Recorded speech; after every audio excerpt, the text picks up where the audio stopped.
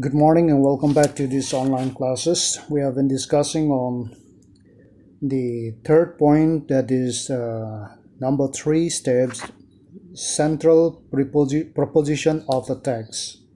Okay. Um, last class we have discussed on uh, what is CPT. Okay, we'll continue with the CPT.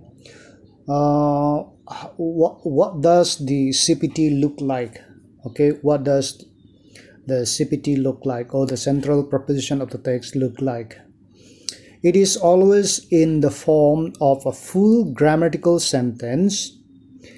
If it is less than sentence, it is not a proposition by definition. So according to a definition, CPT should be in full grammatical sentence. Okay, full grammatical sentence. If it is not a sentence or less than a sentence, it is not a proposition by itself. So when you make a proposition, central proposition of the text, it should be full grammatical sentence.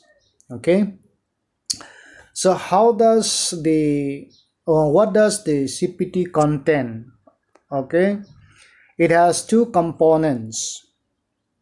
The theme of the text, the theme of the text answer in question, what is the author talking about in the text? So CPT contains two components. Number one is the theme. And what is the theme? The theme is the answer to the question that the author is talking about in the text. Okay, answering the question what the author is talking about. For example, we read from Ezra 7:10 and the CPT to take out the theme what actually Ezra was talking about in the text.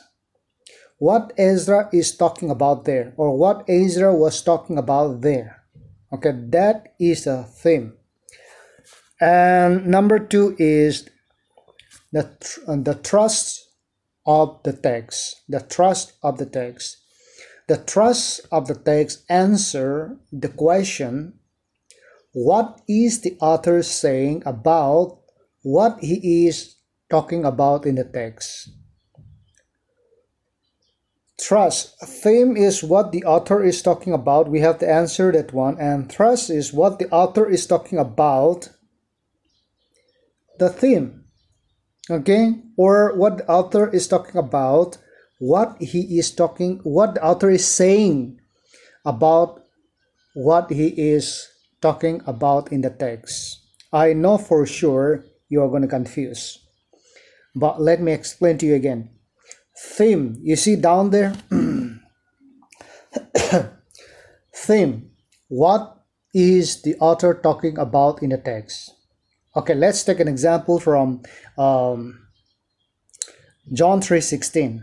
Okay, for God so loved the world that he, uh, that he gave his only begotten Son, and whosoever believes believeth in him shall not perish, but have everlasting life. Okay, John 3.16. What is John talking about there? What is John talking about there? He is talking about the love of God. Okay, that become the theme. That became the theme. What is the author talking about in the text? He is talking about the love of God. So the love of God became the uh, you know the love of God became the uh, theme of the text. Now, what is thrust? What is the author saying about what he is talking about in the text? So, what is the author saying about, for your easy understanding, what is the author saying about theme? Or what is the author saying about the love of God? Okay, I declare that thrust. What is the author saying about the love of God?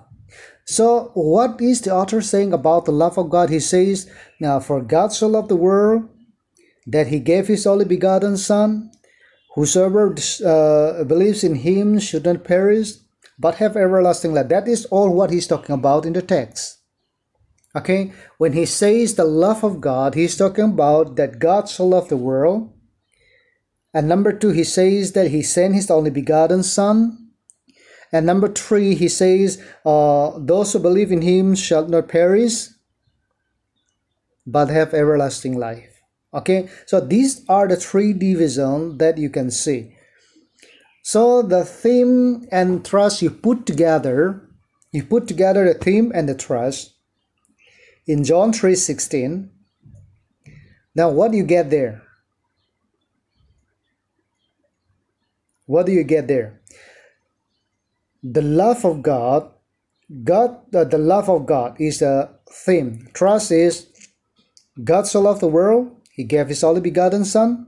Whosoever believes in him shall not perish but have everlasting life. If you put it together, the love of God is okay, God so loved the world that he gave his only begotten Son, and should not uh, those who ever believe should not perish. Okay, that is the uh, uh, uh, CPT or the central proposition of the text. I am taking only from one verse. That is why almost all the words from the verse comes together. But if you're taking a long passage like um, uh, from verse 1 to 15 or 16 or 20, whatever, okay, if you are uh, constructing your text there, you have to bring only one sentence of all that you are talking about, okay, in a small nutshell.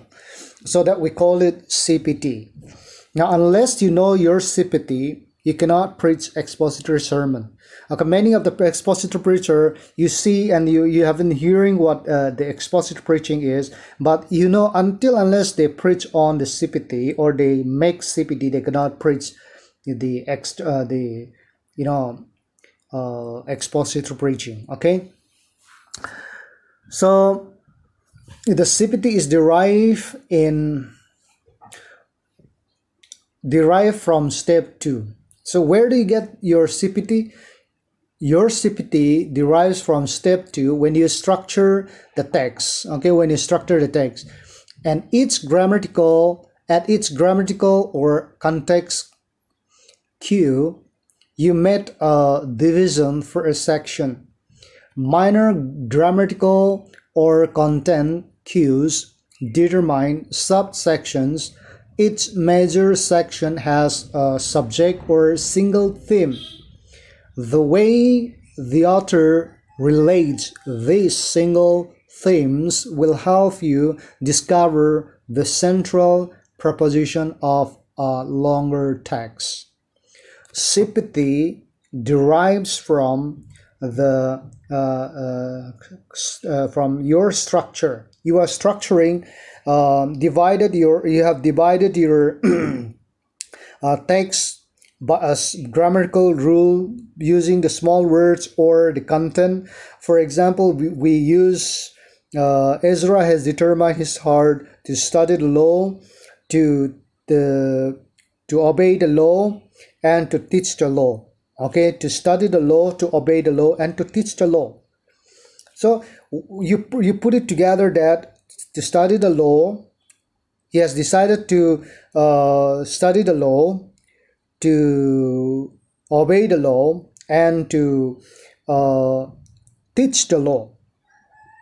So you put together, think it, go for CPT, and the CPT would be what the author is saying here.